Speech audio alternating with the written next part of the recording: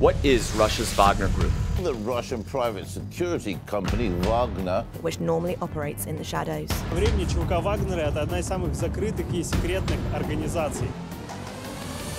منذ نحو ثمان سنوات وحتى اليوم نشطت مجموعة من الشركة العسكرية الروسية الخاصة والمعروفة باسم فاغنر في عدة بلدان حول العالم أبرزها أوكرانيا وسوريا وعدد من الدول الإفريقية حيث بدأت هذه المجموعة العمل لأول مرة أثناء ضم روسيا لشبه جزيرة القرم ولطالما اتهمت بارتكاب جرائم حرب وانتهاكات لحقوق الإنسان في المناطق التي تنتشر فيها.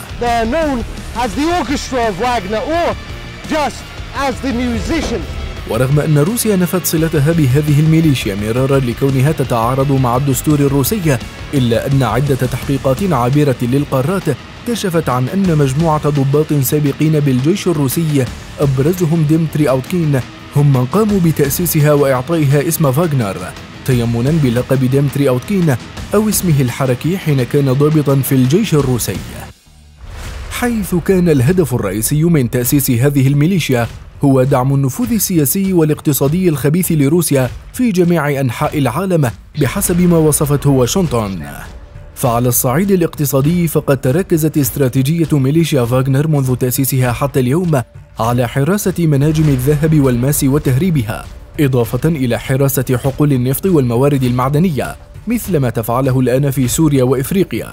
أما سياسيا فقد عملت فاغنر على دعم الحكومات في كل من ليبيا وسوريا ومالي في إفريقيا ضد المتمردين إذ يعتقد أن ما يصل إلى ألف مرتزق من فاغنر شاركوا قوات حفتر في الهجوم على الحكومة الرسمية في طرابلس الليبية عام 2019 ويضاف إلى ذلك قيام هذه الميليشيا بعقد صفقات سياسية لحماية المسؤولين وأعضاء الحكومات مقابل تسهيل حصولهم على الموارد المعدنية.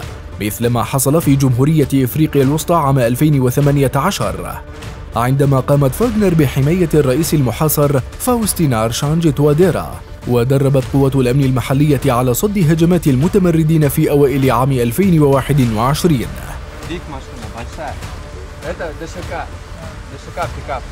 استناد مجموعة فاغنر على السياقات الأمنية والسياسية الهشة في البلدان الإفريقية والشرق أوسطية.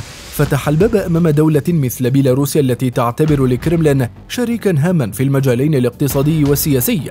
للانخراط في تشكيل ميليشيا مشابهة لفاغنر خاصة لما توفره هذه الميليشيا من توسع للوجود الاقتصادي والعسكري. حيث قالت سفياتلانا تسيخانوسكايا وهي ممثل الدفاع والأمن لزعيم المعارضة البيلاروسية أن شركة الأمن الخاصة البيلاروسية المدعومة من الدولة والمعروفة باسم جارد سيرفيس زادت بشكل ملحوظ عدد موظفيها في الأشهر الأخيرة ويمكن أن تستعد للمشاركة في العمليات العسكرية حيث تمت زيادة عدد الموظفين من قبل الضباط والرقباء والجنود الذين خدموا في قوة العملية الخاصة والوحدات الخاصة لوكالات إنفاذ القانون في بيلاروسيا. وهي الشركة الوحيدة من نوعها في البلاد التي سمح بها الزعيم الحالي ألكسندر لوكاشينكو الحليف المقرب من بوتين بحيازة أسلحة نارية في منتصف عام 2020 وتضم موظفين مدربين تدريبا عاليا يعملون بالترادف مع الحكومة وجيشها. المغزى الرئيسي من إعادة تدوير فاغنر بشركات أمنية جديدة.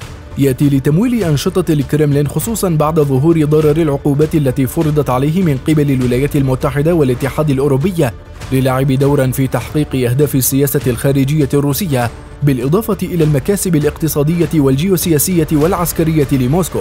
ومع ذلك فإن التوسع الاقتصادي لفاغنر وأخواتها يواجه العديد من التحديات من الدول الغربية أهمها سياسة العقوبات التي تتبناها الولايات المتحدة والاتحاد الأوروبي. فهل ستكون العقوبات كافية لردع هذه الميليشيات أم أننا سنشهد كيانات مشابهة في الفترة المقبلة؟